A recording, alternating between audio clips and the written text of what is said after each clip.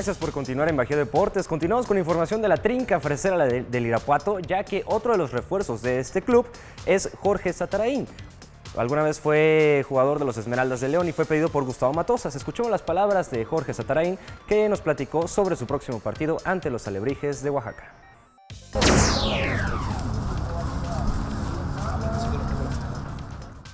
Luego de su paso fugaz por el León, el lateral Jorge Sataraín regresó a Necaxa para luego ser prestado a los estudiantes de Altamira.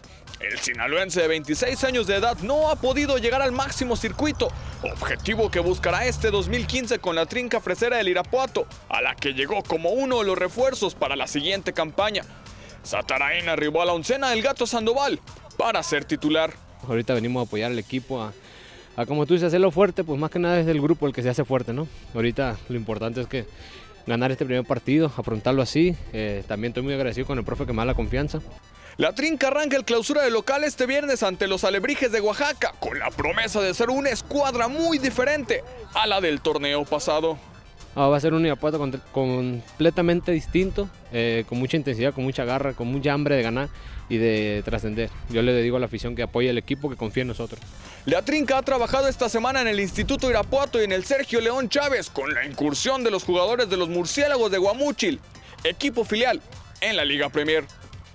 Con imágenes de Edgar Hernández, información de Omar Ceguera, Ricardo Preciado, Bajío Deportes.